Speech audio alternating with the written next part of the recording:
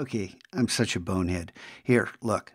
When you when you select this, Command C, switch over to Photoshop, Command Tab, jump over to Photoshop, Command N, that's what we're going to get to next.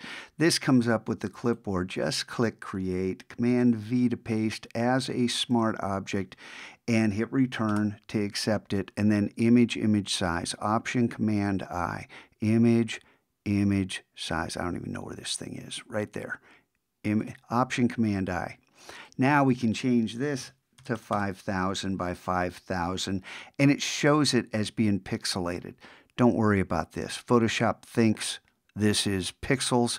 It's not pix. Oh, we're not going to do nearest edges. We're going to click automatic.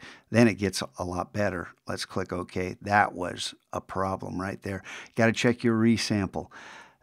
The nearest neighbor was for something completely different which we will see. And you notice that these, this, we're looking at this 100%, perfectly smooth, Command 0, and then here, Command minus, and then the same thing, Shift Option Command N, Shift Option Command E, Command T to get free transform, hold down Shift in order to constrain those proportions, change it to difference, and now we have our perfect 5,000 pixel square version of this wavy type of um, checkerboard.